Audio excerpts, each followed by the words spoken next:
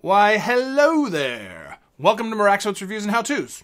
Uh, my name is Brian, and as a word of warning, uh, I like to do proper introductions on my videos. So, if you're like my dad and just want to get straight to the point and are not interested in watching the intro, uh, you can expand the video description below and use the timestamps there to skip ahead to what you want to see.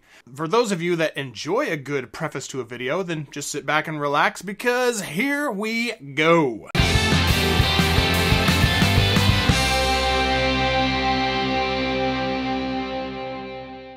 In my last video, I reviewed the WD My Passport Wireless Pro, which is a wireless external hard drive.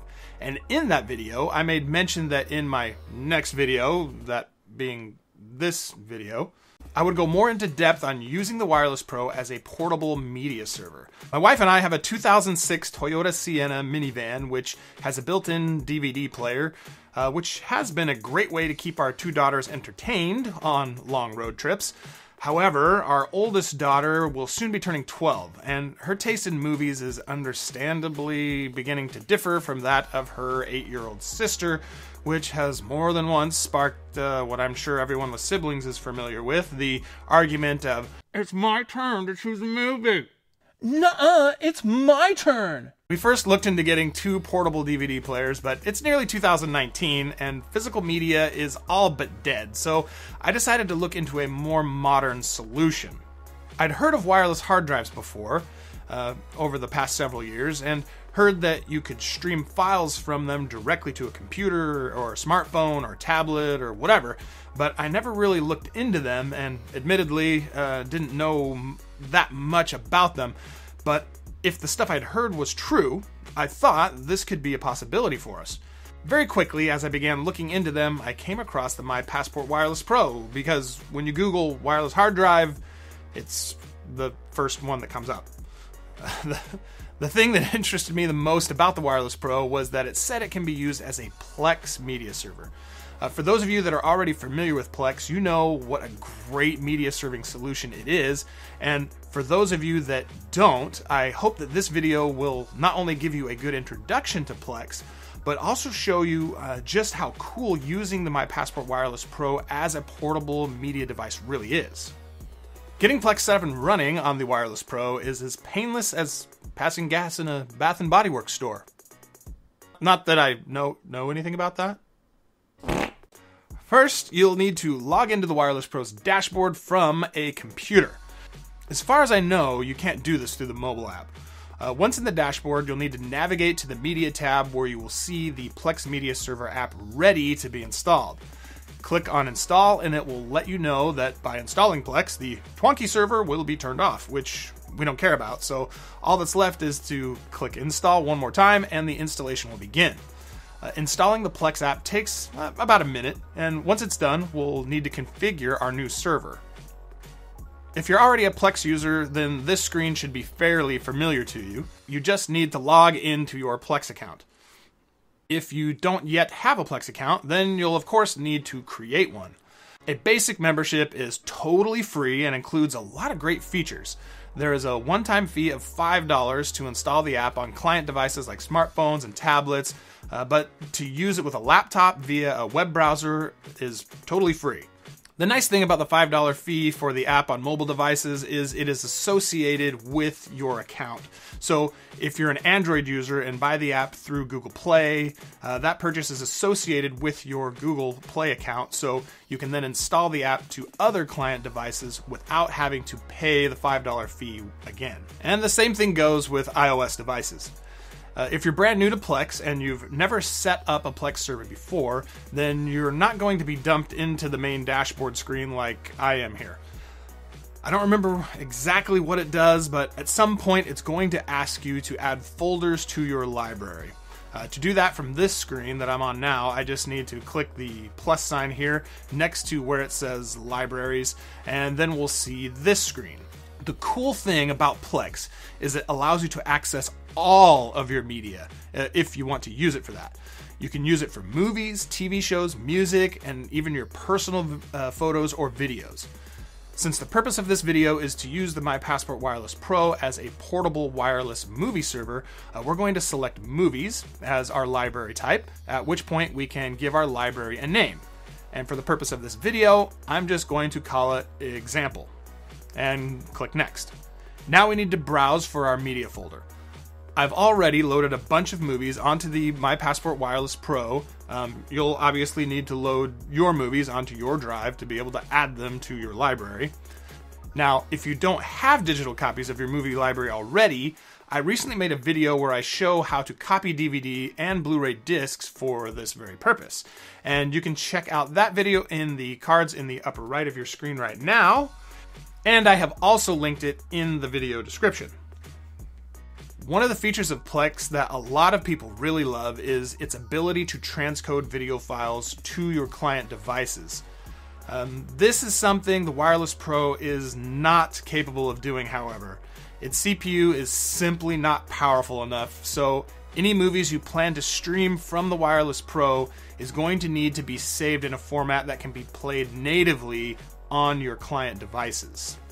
One other thing I feel I should mention before we return to adding a folder to your library is to get the best experience with Plex, you're going to want to organize your movies in this manner. You'll want to name the file using the title of the movie and also include the date the movie was released. You'll then want to place that movie file into a folder of the exact same name. I'll show you why this is important in a little bit. You can, of course, organize your movies any way you want after that. Uh, if you'd like to break them up into genres, you're welcome to do that. Uh, as for me, I've just put everything into one movies folder. Okay, so we have our movies converted into digital format, properly named, organized, and loaded onto the My Passport Wireless Pro, and are ready to add that folder to our library to get to my movies, I need to navigate to storage, where you can see I have a couple of folders uh, Barbie movies and movies. Yeah, I know what you're thinking. Barbie movies? So, I have two daughters. What's it to you? Anyway, you can then click on the folder you want to add, click Add, which then brings us to this screen where we will click Add Library, and Plex will add that folder to your library.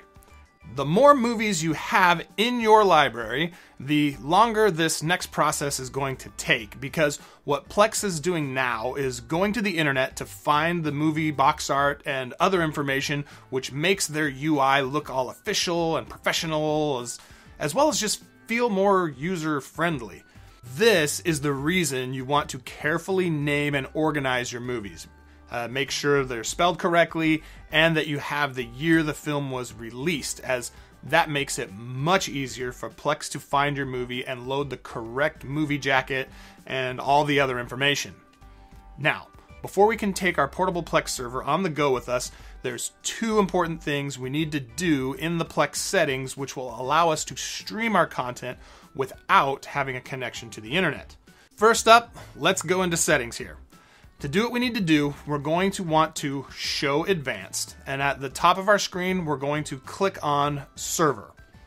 On this screen, we're going to go to network here on the left hand side of the screen and then scroll down to the field that says list of IP addresses and networks that are allowed without authorization.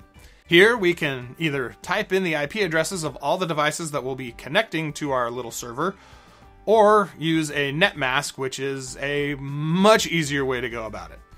In the case of the My Passport Wireless Pro, it uses 192.168.1. whatever for IP addresses of connected devices. So in this field, you're going to want to enter in 192.168.1 slash 255.255.255.0.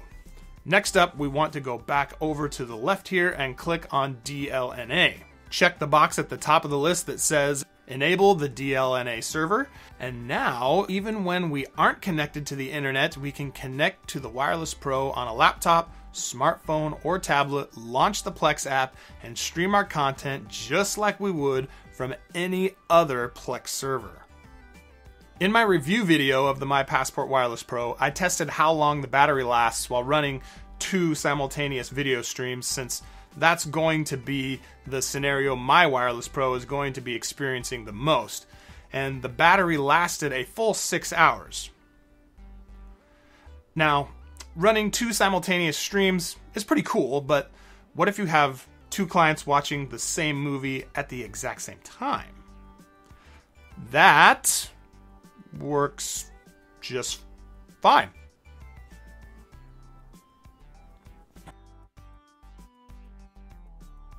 Doesn't say it on the box or anywhere in the included documentation, but I did find some information on WD's website that says the My Passport Wireless Pro is capable of supporting up to eight simultaneous 8 megabyte per second streams. So, naturally, we got to give it a try. While using the Plex app on my client devices, I was able to get six simultaneous streams working. But once I tried to connect the seventh device, things started crapping out. Uh, two of the six streams stopped playing, and the wonderful Wheel of Misfortune began circling around. Since device number seven kicked off our problem, I disconnected it from the Wireless Pro, but that still didn't fix it. Uh, after that, I was only able to get five streams running, but even then, playback would periodically stop, buffer for a little bit on several of the clients, and then resume again. Uh, prior to connecting the seventh device, I had six streams running flawlessly, so I'm not sure what the deal was exactly. To be fair, the stuff I read never said anything about supporting eight simultaneous streams while using the Plex app. So I then switched to the WD MyCloud app, which is free by the way. And as you can witness here, was able to get eight simultaneous video streams playing. I know there's got to be at least a few of you watching that are sitting there wondering okay, so it'll do eight simultaneous streams. How about nine?